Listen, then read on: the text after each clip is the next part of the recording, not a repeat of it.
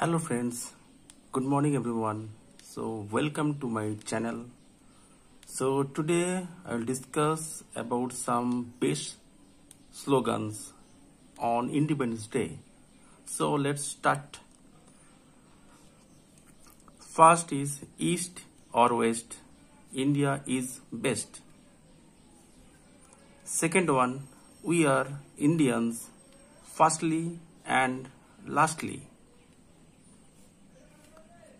Third point, I salute the real heroes who gave us the invaluable freedom. Fourth point, I love my freedom. I respect my freedom.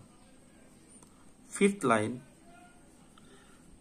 no nation is perfect. It needs to be made perfect.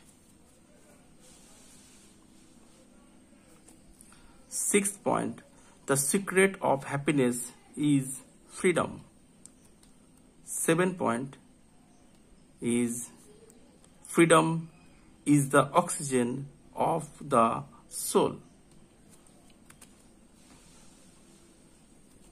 Seventh point, one nation, one vision and one identity.